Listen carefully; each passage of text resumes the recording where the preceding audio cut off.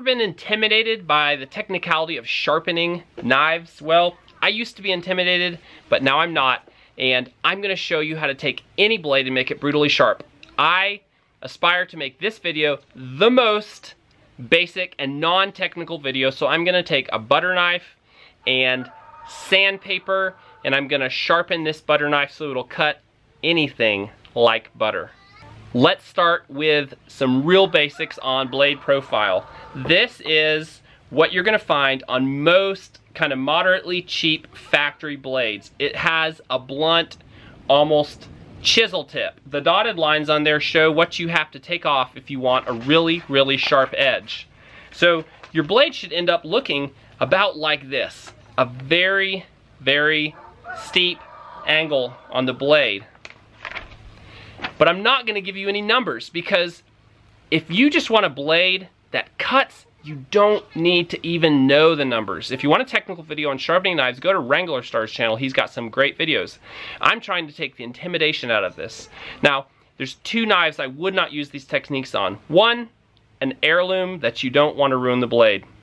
Two, I also wouldn't use these on a hacking blade. A knife that's made for hacking because you can actually break off the fine tip um, that I show you with this technique. I'm starting with a random orbital sander with 80 grit sandpaper. You could definitely go finer than that. And here's my butter knife. Let's get going. And we're just gonna go.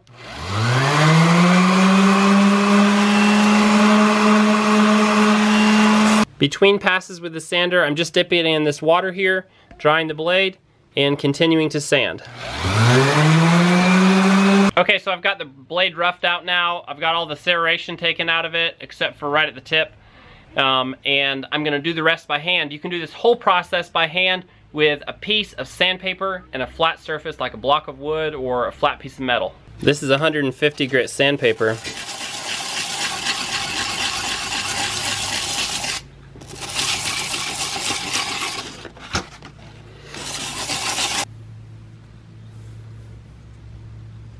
I realized that my 150 grit sandpaper wasn't fine enough, so I hunted around and found just a little piece of steel, a little steel plate. It's rusted, and I used that to get my knife down to the next level.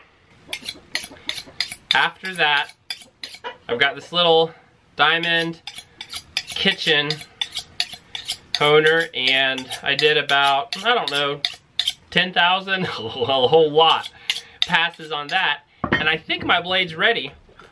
The last thing I want to do is just go over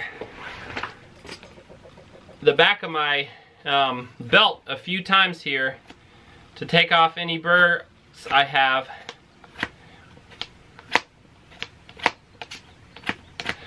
Now this knife, I think this is probably the sharpest knife in my house right now. Let's try this blade out and see how it cuts. Here's our paper.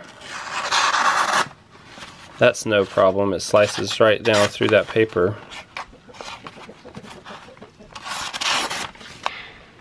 And then what's the ultimate test of a sharp knife? I think this is my least favorite part of the video. That's where I try to shave my mustache off with a butter knife. And it's dry, I'm dry too.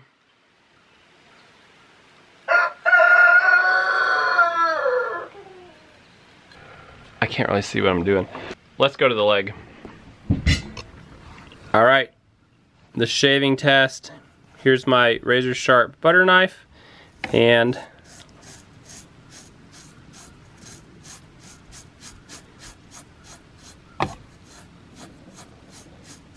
Yeah, I definitely say that's sharp.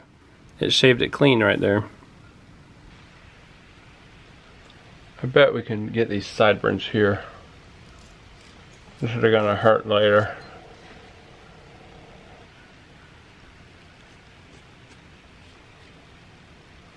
On the other side, yeah, we'll have to clean that up. I'll have to clean up in the bathroom. What are you doing? Shaving. Oh. That's pretty bad. That's pretty bad. Mm -hmm. Yeah. You're right. Okay, I wouldn't really want to shave with this knife.